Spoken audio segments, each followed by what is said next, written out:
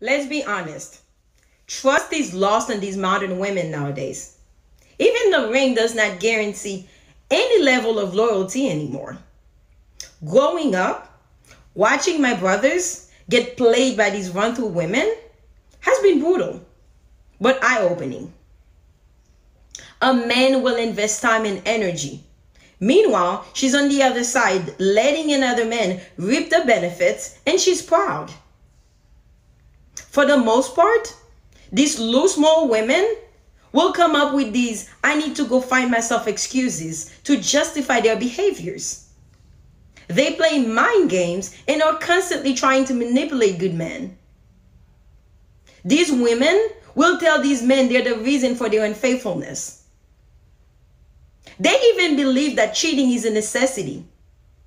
According to these women, guilty pleasure is something they need to feel independent. They master the art of lying to justify their narcissistic behaviors. These entitled egomaniacs will do everything necessary to portray good men as ugly to society. And the sad thing is, they get away with it every time. These same control freaks are out here calling good, loyal, honest, decent men boring. They're so financially hungry that they become arrogant. As a result, they lose any and every trace of feminine energy.